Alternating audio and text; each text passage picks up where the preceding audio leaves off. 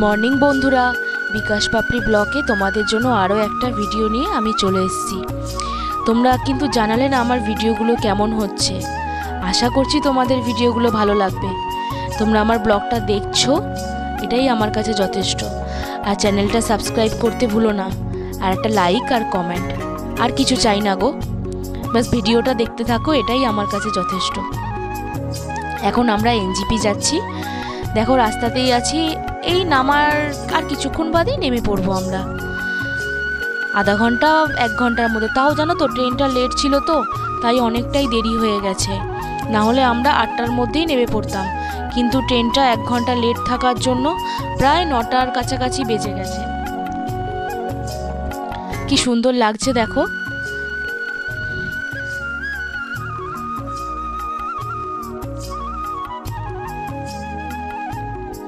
রাতে না ভালো ঠিকমতো ঘুমও হয়নি। আসল কথা কি বলো তো ট্রেনে না ঘুমানোর অভ্যাসও নেই।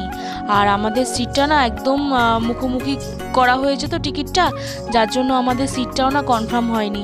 আর আমাদের তিনটে টিকিট করা ছিল, আমার, ছেলের আর বিকাশের। তিনটে টিকিটের মধ্যে দেড়খানা সিট পেয়েছি মানে একটা আর হাফ। আর ওই সিটের মধ্যেই আমাদের ই করতে হয়েছে, থাকতে হয়েছে। ছেলেটা একটা সিটে শুয়ে পড়েছে, আর বাকি বিকাশ আর আমাকে প্রায় সারা রাত্রির বসে কষ্টই করতে হয়েছে। কি করব, টিকিটই পাচ্ছিলাম না। এই দেখো, কথা বলতে বলতে ঠিক চলে আসলাম। দেখো আরেকজন লাগেজটাকে কীভাবে তুলছে? কি বলো তো লাগেজটা তিনজনের জামা কাপড় আছে তো, অনেকটা ভারী হয়েছে। আর আমার এই ছেলে, সে তো লাগেজ টানতে পেলে আর কিছু চাই না। ব্যান্ডেল স্টেশনেও সে লাগেজটা ধরে টানতে টানতে নিয়ে গেছে, এখনও সে লাগেজটা ধরে টানতে টানতে যাচ্ছে। আমি শিলিগুড়ি এনজিপি এসছি, তাও তিন বছর, না, দু হাজার একুশে এসছিলাম একবার। ওখানে আমি, না, তিন মাস মতো ছিলাম। এই জায়গাটার ওপর, না, ভীষণ মায়া, জানো তো? এত ভালো লাগে আমার, এই ছোট জায়গাটা, কিন্তু তার মধ্যে, না সব কিছু বেশ সব থেকে বড় কথা কি বলো তো পাহাড়টা আমি খুব সামনে পাই। আর পাহাড়টা একটু উইকেন্ডে ছুটি ছাটা পড়ল সানডে ধরো, বেশ গাড়ি করে চলে যাওয়া যায় একটু পাহাড়ের দিকে। ভালো লাগে বেশ।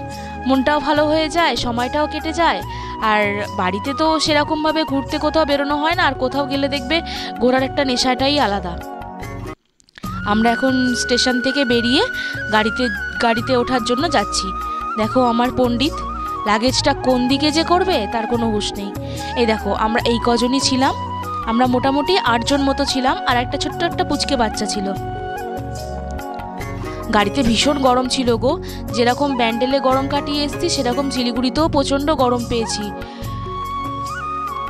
দেখো, এই হোটেলটায় আমরা, হোটেলটা আমি ব্যাক সাইডে না ক্যামেরাটা করতে পারিনি, ভিডিওটা। আমি ফ্রন্ট সাইডটা দেখাচ্ছি জাস্ট পাহাড়ের মাঝখানে একটা হোটেল, ওখানে কিছুটা জলখাবার করে তারপরে আবার বেরিয়ে পড়েছি। আমি ফ্রায়েড রাইস নিয়েছি, আর বিকাশ নিয়েছে ছোলে ভাটোরে, আর আমার ছেলে নিয়েছে হচ্ছে আলুর পরোটা। ওর আলুর পরোটা এত ফেভারিট ও শিলিগুড়ি আসলেই জানো তো আলুর পরোটাই খাবে খাবে বায়না আলুর পরোটার মোমো ও সব থেকে হচ্ছে প্রিয় খাবার। এই দেখো চললাম পাহাড়ি রাস্তা ধরে।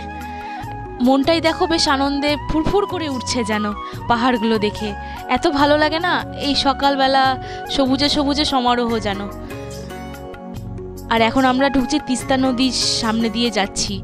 আর তিস্তা নদীর ফ্রন্ট ভিউটাও তোমাকে দেখাবো। এত সুন্দর লেগেছে না ভীষণ মানে চোখটা না ওখানেই আকর্ষিত হয়ে আছে।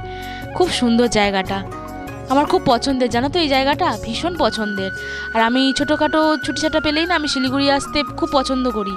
জানি এখান থেকে আমি পাহাড় দেখতে পাবো। আর বেশি দূরে না এখন যাওয়াটা না হয় না। ছেলেটা একটু ছোট তো, এবার যখন একটু বড় হয়ে যাবে ভালো মতো, তখন দূরে দূরে মোটামুটি পাহাড়গুলো দেখা যাবে। এই দেখো, তিস্তা নদীর সামনে দিয়ে আমরা যাচ্ছি।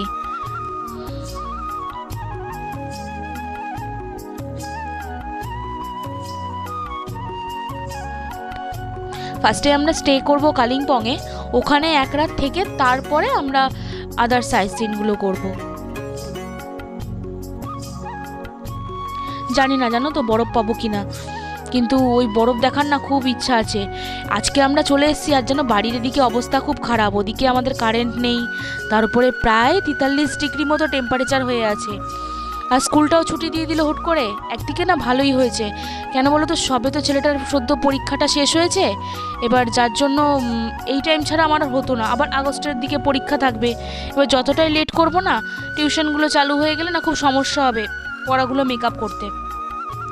এই জন্য আমি বিকাশকে বললাম যে পরীক্ষাটা শেষ হলেই দু, তিন দিন রেস্ট নিয়ে বেরিয়ে পড়ব, আর নাহলে খুব সমস্যা হয়ে যায়। আর এই করতে করতে যেন তো ঘোরাও হয় না। প্রায় আমি তিন বছর পর যেন ঘুরতে বেরোলাম। প্রায় হ্যাঁ ওরকমই তিন বছর পর। কেননা দার্জিলিং গেছিলাম, দার্জিলিং থেকে এই জাস্ট বেরোলাম বাড়ি থেকে। আর তার মাঝখানে কোথাও ঘুরতে যেতে পারিনি। এই যাব এই যাব করি, আর হয়ে ওঠে না। সব দিক সামলে না, আর হয়ে ওঠে না। দেখো, চারিদিকে কুয়াশা কুয়াশা কেমন ঘোলাটে ঘোলাটে হয়ে আছে। এই দেখো, তিস্তা নদীর ভিউ পয়েন্টটা খুব সুন্দর নদীটা। এখানে বেশ কিছুক্ষণ আমরা দাঁড়িয়ে ছবি তুললাম। ছবি তুলে তারপরে আবার রওনা দিয়েছি। গাড়িতে জানো তো, প্রায় পাঁচ ঘণ্টা মতো লেগেছে। আর আমার তো এমনিতেই গাড়িতে উঠলে একটু বমির সমস্যা থাকে। কিন্তু পরের দিনগুলোতে আর হয়নি। সেই দিনকে যাওয়ার সময় না গাড়িতে বমি হয়েছে। কেননা রাত্রিবেলা ঠিকঠাক মতো ঘুমটুমগুলো হয়নি, এটা শরীরে ক্লান্তি থাকে না, ওই জন্যই আর হয়নি, তারপরে আর।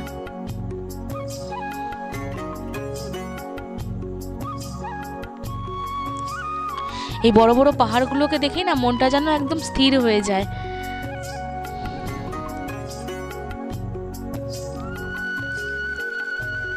আমরা যে ট্যুরিস্টের সাথে এসছিলাম, যে গাইডের সাথে, তিনি না ভীষণ ভালো। আর তিনি হোটেল, রুম, যে কটা দিয়েছে সে কটাই ভীষণ পছন্দ হয়েছে আমাদের। আর তার আর বিহেভিয়ার তার খুবই সুন্দর।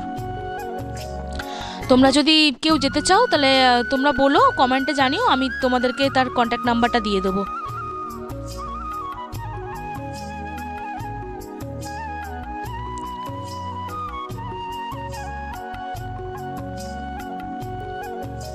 রাস্তাগুলো এমন চড়াই উতরাই না ওটাই হয়ে যায় সমস্যা। মানে সুস্থ মানুষও দেখবে, তারও শরীর খারাপ করে যাবে।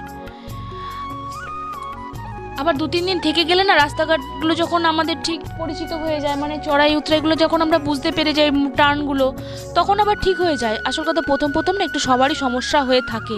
এটা আমার বলে না, যে কেউ যাবে তারই সমস্যাটা হবে।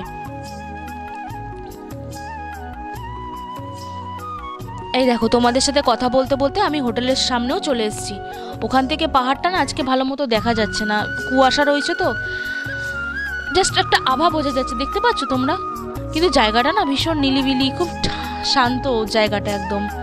কিন্তু আমার ছেলেটি শান্ত ছিল না। ছেলেটি পাহাড়ের মধ্যে ঢিল ছুঁড়ে ছুঁড়ে মারছিল। আর এই বাহারি গাছগুলো, আমি না ওখানে দেখেছি প্রত্যেকটা বাড়িতে না কি সুন্দরভাবে গাছ ওরা টবে বসিয়ে বসিয়ে গাছগুলো তৈরি করেছে। এত সুন্দর লাগছে দেখতে। দেখো, এই হোটেলটা দেখেছ? বললাম না, পাহাড়ের মধ্যে ঢিল ছুটছে, দেখেছ? আমার ছেলেটাকে।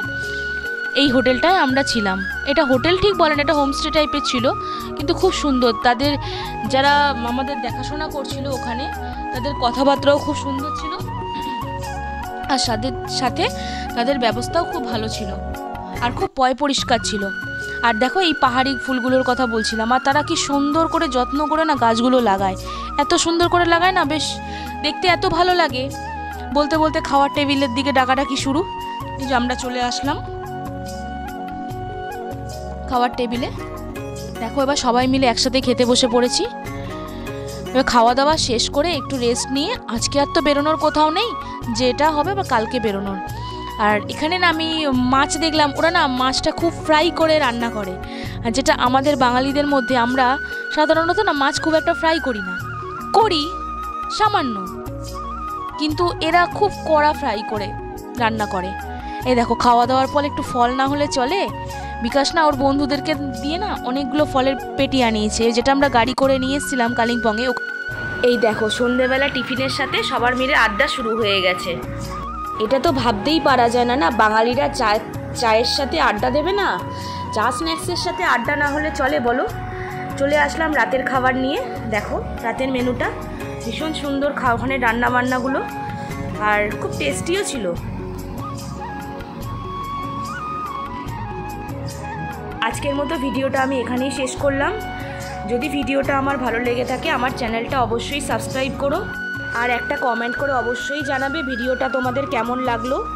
আর লাইক লাইক করতে কিন্তু ভুলবে না। আজকের মতো, টাটা।